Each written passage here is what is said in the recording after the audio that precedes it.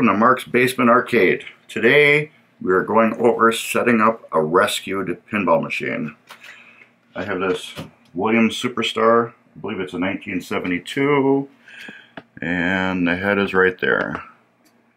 Today we're going to go over how I set them up after I bring them home.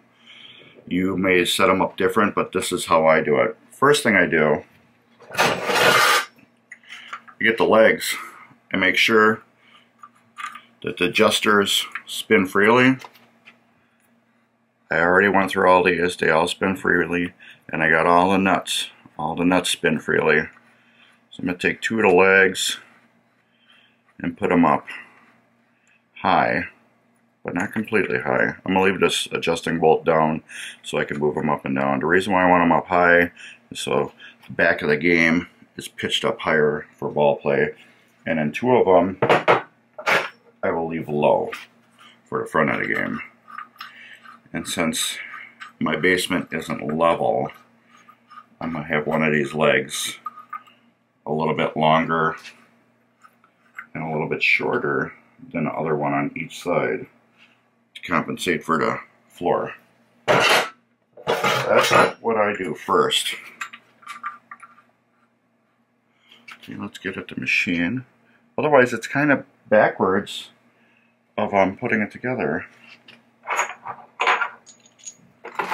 Get your bolts and everything. Let's go. Now my basement floor goes this way. So I'm going to put the higher leg over here and the lower leg over here on both sides.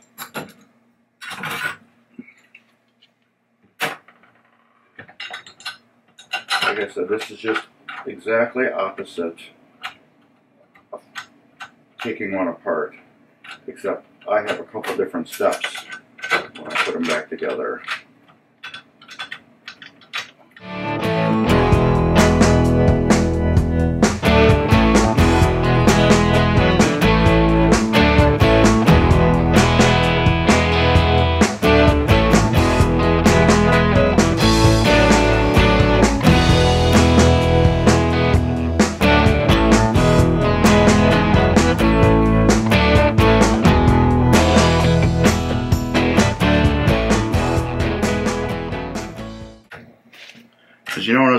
Notice, how I hold the wrench, I hold it like this instead of down here. I don't want to put so much cranking pressure where I might strip the threads. But I, I have never done that, but I just do it like this because I only want to get it so tight. These will need to be tightened down crazy. They just need to be snug. And that's it. So, now I'm going to take it and we're gonna stand it up partially.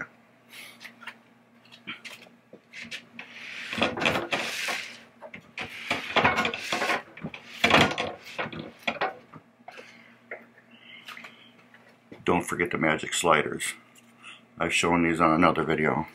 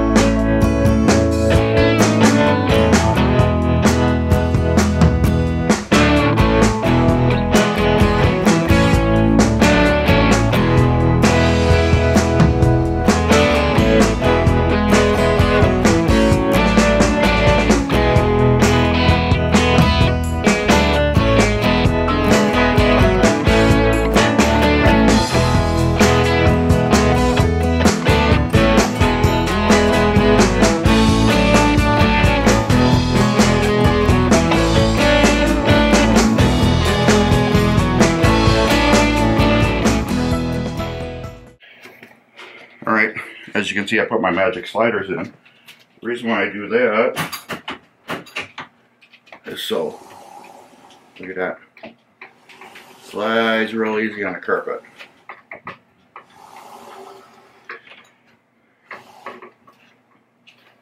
Alright, since we're at this point, we're gonna get that power cord out. We're gonna get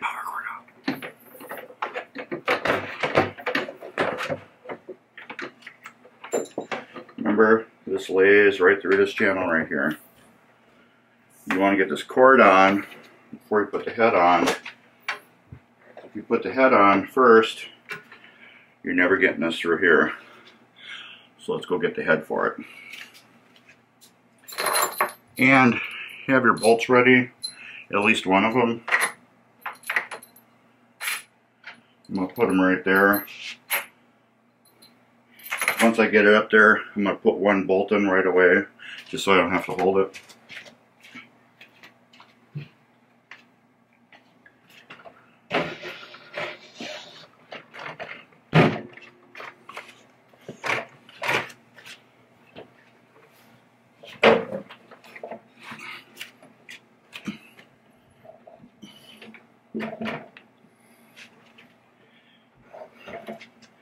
These heads are heavy, you can see it. I'm just letting my muscles relax and it wants to fly forward.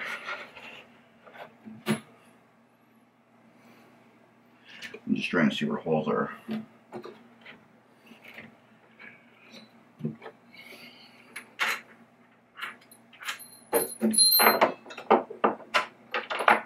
I got lucky. Centered it right away.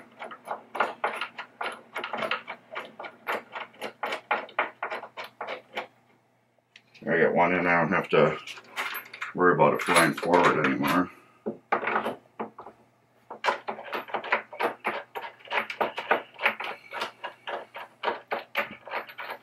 These don't get cranked down either. There's no need to crank them down.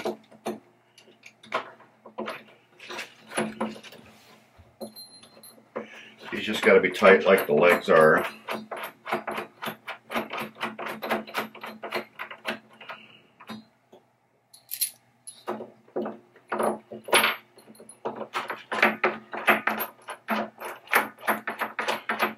four of them back here. I will four as soon as I get them snug.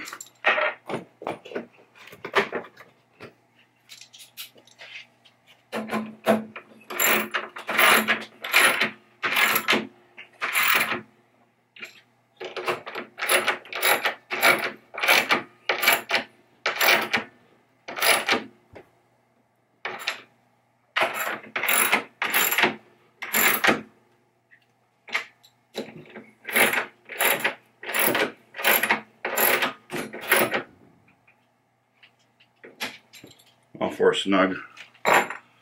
I'll show you them. Alright, here's the four bolts. One, two, three, four. Now I am not plugging in the Jones plugs. The reason why is because there's one more process that I do. So let's go around to the other side and I'll show you what I do. Okay, we're at the other side. This is what I do now. I take the glass off.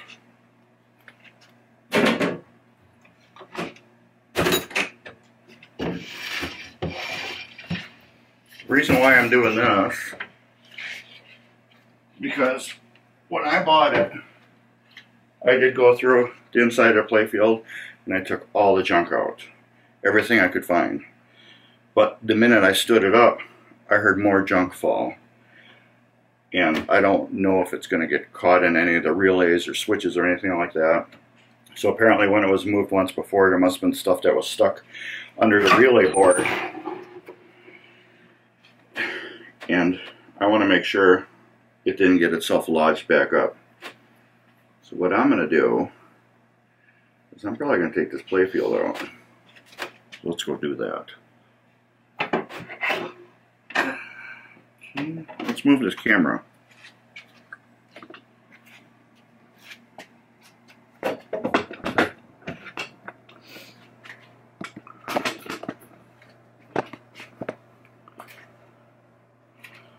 Alright. We're inside the playfield. Now there should be a couple Jones plugs that we're going to unplug and this playfield should come right loose. This is make sure it's, it's like attached in any other way with um, um what do you call it, zip strips or anything like that. Here's the two Jones plugs right here. They're going to be taken out. Let me see if I can get a better look at them.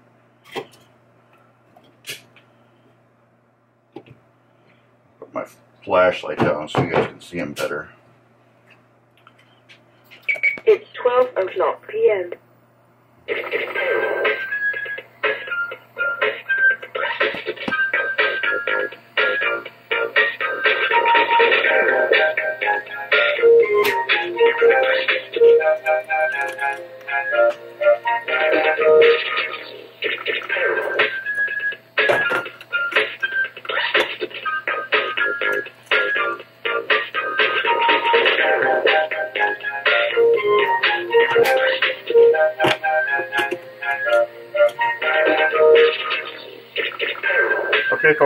done.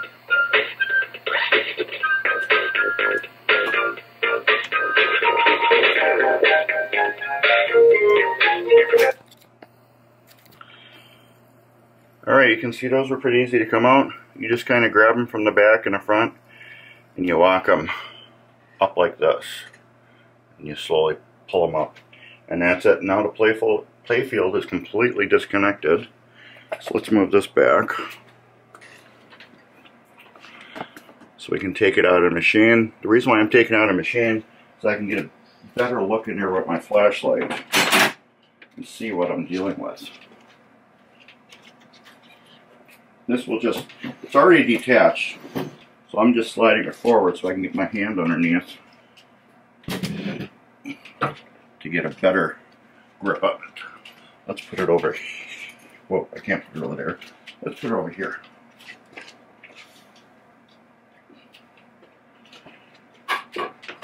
Like I said, this is how I do it.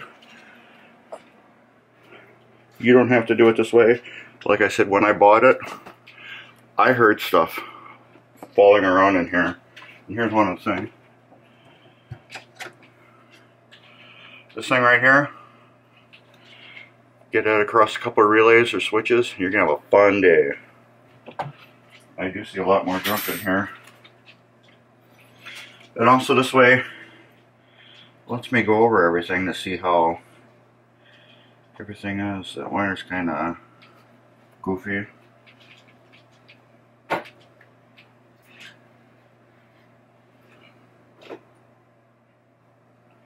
It looks attached good.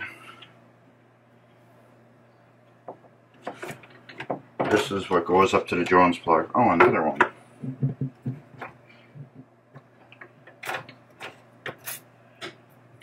24. I'm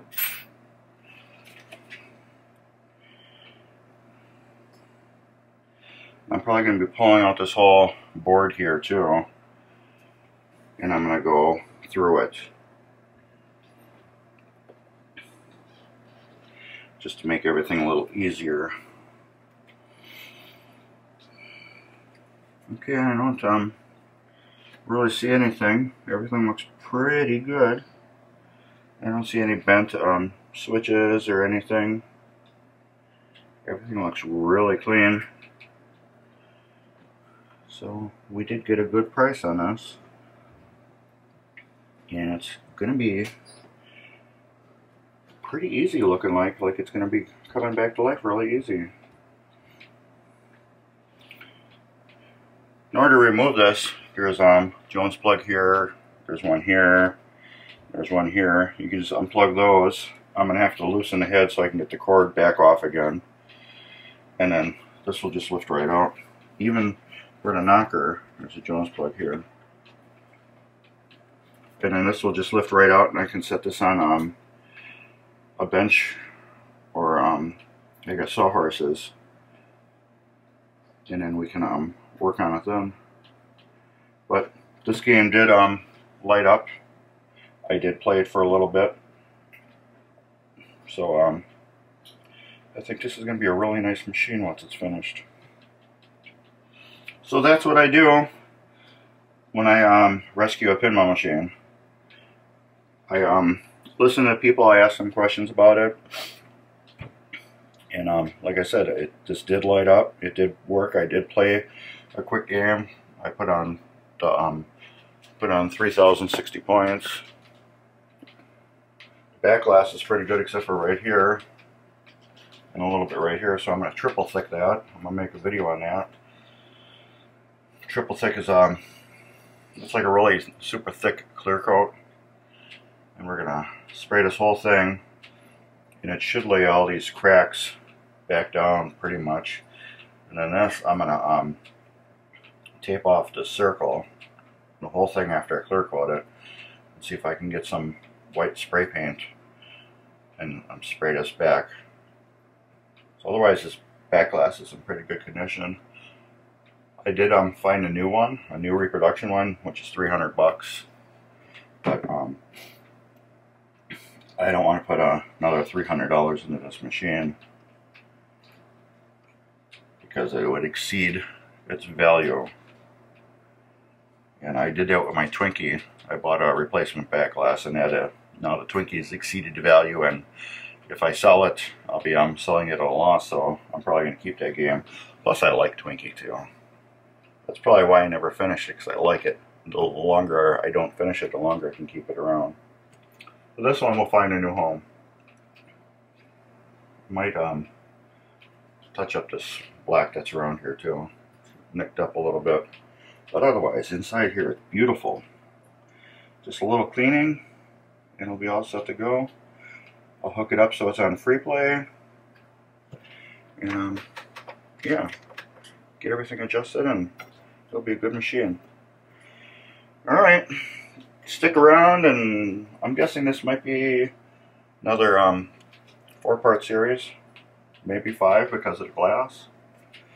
Um, this isn't, well it's kind of part one, but I'm going to have it as a different video. Probably calling it um, something about setting up a rescue pin. So anyways, yeah, like I said, I pull out this board and I'm going to go underneath it and see what other kind of surprises I find. Alright, thank you for watching. Like the video, give us a thumbs up. Subscribe to our YouTube channel, Mark's Basement Arcade. Check us out on Facebook at Mark's Basement Arcade. And we're looking forward to seeing you again you can come and watch more of our videos and learn with me.